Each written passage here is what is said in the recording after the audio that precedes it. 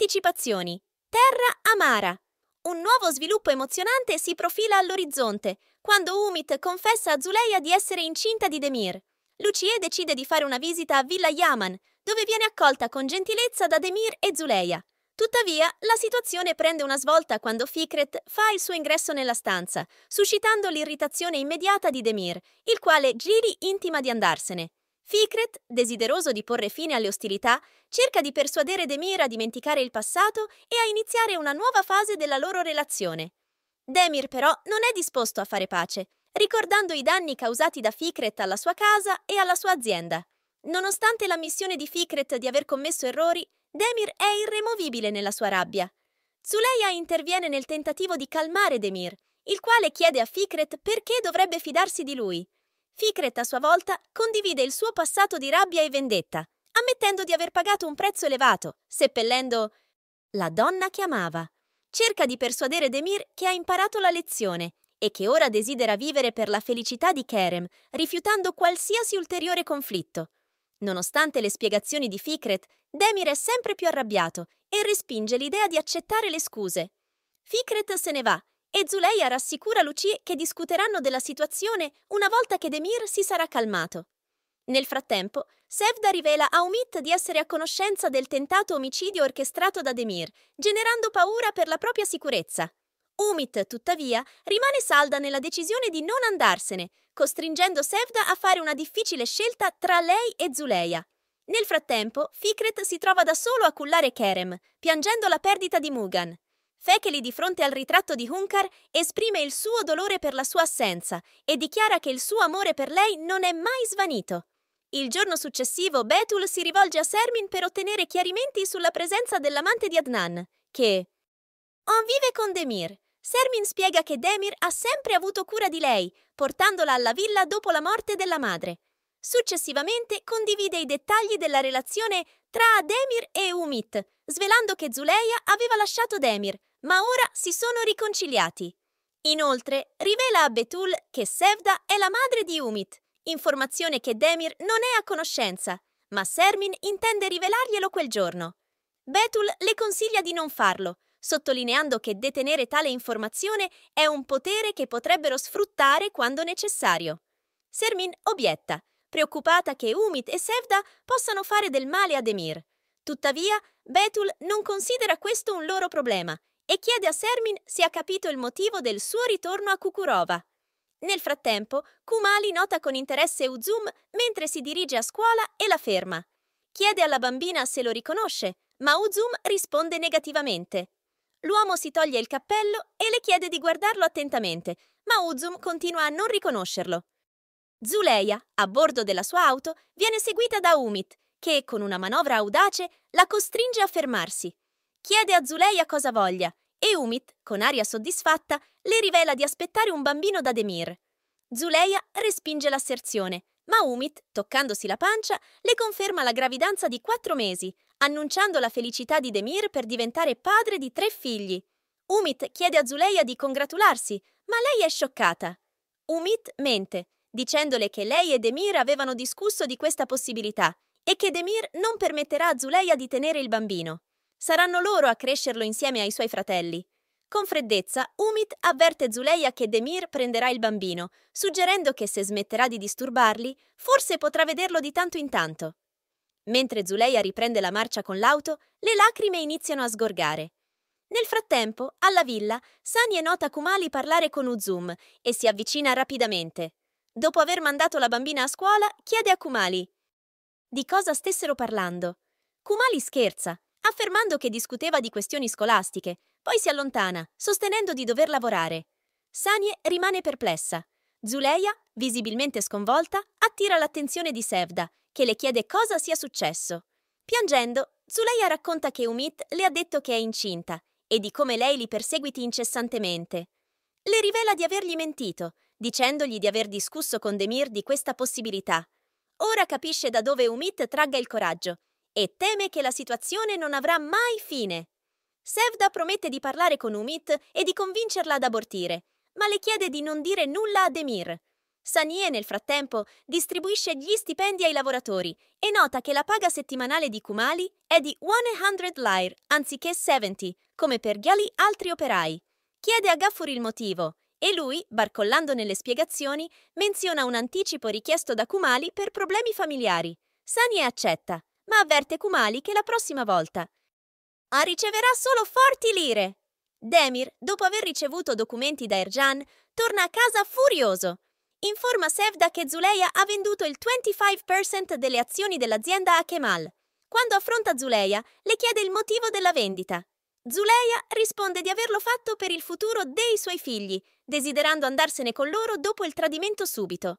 Demir la rimprovera, definendo l'atto un altro errore, ma Zuleia ribatte, dichiarando che non è un errore ma un tradimento. Afferma che lo rifarebbe considerando tutto il dolore sopportato, dimostrando che non le importa dell'azienda o dei soldi. Demir concorda, ma esprime il desiderio che non lo avesse fatto. Poi le chiede chi sia Kemal e come lo abbia trovato. Zuleia spiega che è un avvocato di Istanbul che operava per un cliente, ma lei non sa chi sia. Demir dichiara la sua intenzione di andare a Istanbul per riacquistare le azioni, anche se ciò comporterà un costo elevato. Sermin si trova al bar con Betul, la quale esprime il desiderio di conoscere Umit e capire come sia riuscita a sedurre Demir. Sermin le chiede se l'ex marito le paga gli alimenti, ma Betul risponde negativamente, poiché ha optato per una liquidazione. Notano Umit avvicinarsi in macchina e improvvisamente Betul si posiziona nel mezzo della strada, fingendo di svenire per poter incontrare Umit. Sermin accorre da lei e Umit si ferma per soccorrerla. Dopo un breve periodo, Betul finge di riprendersi da un malore e Umit si offre di portarla in ospedale per dei controlli con la sua macchina. Sermin commenta con Umit sulla fortuna di avere qualcuno presente in quel momento. Arrivate in ospedale e dopo esami negativi, Sermin rivolge la parola ad alta voce a Betul, suggerendo che chiederanno ad Emir di portarla in un ospedale di Istanbul. Betul risponde sottolineando che Demir si preoccupa solo di se stesso e di Zuleia. Successivamente, Betul esprime a Umit la felicità di averla conosciuta e menziona che sua madre ha parlato molto di lei. Sermin aggiunge che la figlia ha studiato legge alla Sorbona di Parigi e Umit rivela di aver studiato in Germania. Betul osserva che anche Demir si è laureato lì. Mentre Betul se ne va, esprime il desiderio di poterla rincontrare. Dopo l'uscita dall'ospedale, Sermin chiede a Betul del finto svenimento, preoccupata per la sua salute. Betul risponde che era una messa in scena e scherza sul fatto che avrebbe dovuto fare l'attrice invece dell'avvocato. Aggiunge che presto diventeranno amiche e sottolinea la sua convinzione che Umit non lascerà andare Demir. Sermin risponde che va bene, perché anche lui deve soffrire. Demir si trova ad Istanbul e si reca all'indirizzo dell'avvocato, ma il portiere del palazzo Gili comunica che l'avvocato è andato via e nessuno sa dove si trovi. Viene descritto come un individuo strano ed è stato espulso dall'ordine degli avvocati. Nel frattempo, Umit ritorna nella sua camera d'hotel, dove trova Sevda. Quest'ultima le esprime la sua gioia per la maternità imminente di Umit, ma quest'ultima risponde freddamente che non sono affari suoi. Sevda la avverte che Demir non permetterà a Umit di tenere il bambino, ma Umit ribatte che lo farà nascere contro la sua volontà e che Demir non può farle nulla. Sevda la mette in guardia sul fatto che Demir è un uomo molto potente e le propone di andarsene insieme per iniziare una nuova vita. Tuttavia, Umit risponde freddamente che non vuole vivere con Sevda, ma con Demir, e che Demir lascerà sua moglie per crescere il bambino insieme. Sevda ribatte che Demir non lo farà mai, ma Umit sostiene di non volerla nella sua vita, così la caccia dalla camera. Nel frattempo, Zuleia telefona a Sadi, comunicandogli che Demir è ad Istanbul per recuperare le azioni, ma l'avvocato acquirente è irraggiungibile. Sadi ammette che sono stati ingannati e si scusa, ma Zuleia lo incolpa per la fretta di vendere. Demir bussa alla porta di Sadi, sospettando che l'acquirente sia Fikret in collaborazione con Umit. Sadi offre il suo aiuto a Demir per recuperare le azioni. Quando Sevda torna a casa, mente a Zuleia, dicendo di non aver trovato Umit in hotel né in ospedale. Zuleia commenta che sta scappando da Demir, temendo che la costringerà ad abortire e che uscirà allo scoperto quando non sarà più possibile. Sevda risponde che forse Umit se n'è andata, ma Zuleia non ci crede e afferma che non permetterà a Sevda di distruggere la sua famiglia. Il giorno seguente, Fikret è in azienda quando Demir arriva e Gilly chiede cosa stia facendo. Fikret risponde che non sta facendo nulla perché non ha più problemi con lui e con suo padre. Demir non gli crede, lo accusa di aver acquistato le azioni della sua società con l'aiuto di un avvocato corrotto, ma Glee promette che se le riprenderà. Zuleia va a trovare Gulten e le chiede di tornare a lavorare alla villa. Gulten le spiega che le vuole bene, ma non può tornare. Zuleia le racconta della gravidanza di Umit e del suo intento di distruggere la sua famiglia. La prega di non lasciarla sola e di essere la sua amica, soprattutto per poter difendere i suoi figli. Più tardi, Zuleia torna alla villa con Gulten, accolta calorosamente da Sanie e Fadik. In quel momento, Demir rientra e, vedendo Gulten, chiede a sua moglie se l'ha riportata alla villa. Zuleia risponde affermativamente, chiedendogli se ha obiezioni.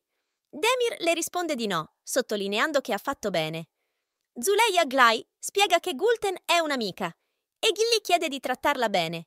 Demir le risponde che quando l'ha mandata via era arrabbiato per la sua fuga. Successivamente, Demir informa Zuleia che Fikret nega di aver comprato le azioni, ma lui non le crede. Zuleia suggerisce di rimanere calmi e afferma che scopriranno la verità. Demir, tuttavia, afferma che non può essere calmo, poiché non possiede più il 25% della sua azienda. Zuleia ipotizza che Fikret stia cercando di diventare proprietario della loro azienda, ma Demir promette che lo impedirà. Zuleia ammette di essere stata impulsiva a vendere le azioni, ma sottolinea l'importanza di rimanere calmi e forti di fronte ai nemici. Demir, commosso, la accarezza e le dichiara il suo grande amore.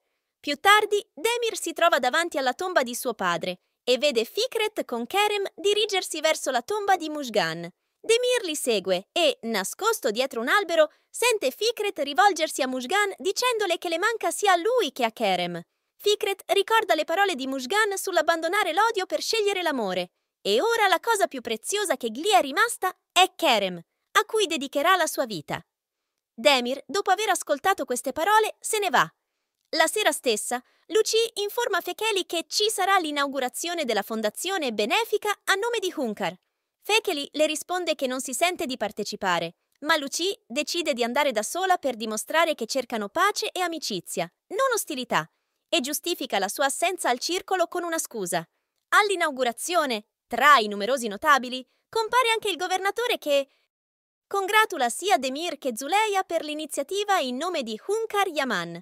Presenti anche Sermine e Betul, che si posizionano vicino a Sevda.